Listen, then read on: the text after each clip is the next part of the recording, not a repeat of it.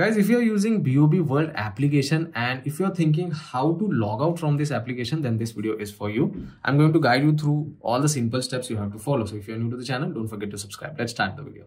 Now, for example, if you have already using BOB World application and the application is on and you're not able to find logout option, the process is very simple on the home page itself you can find multiple options like uh, upi related option is at the bottom and you can also check out your virtual or physical debit card option over here in card section you can check out your account number at the top and people who are willing to check their account details you can click on view all accounts.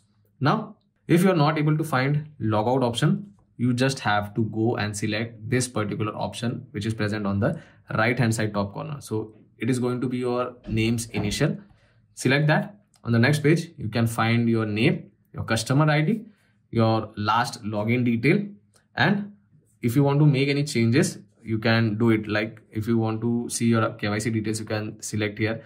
If you want to check contact details, you can check. If you want to change your login pin or transaction pin, you can do it. Now at the very bottom, you get an option of logout. Tap on that. A pop-up message will appear on the screen. Do you want to log out?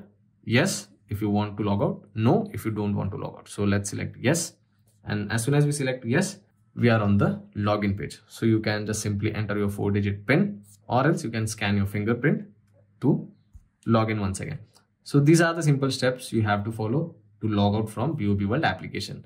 If you find this video informative, don't forget to subscribe. I'll see you all in the next one. Thank you.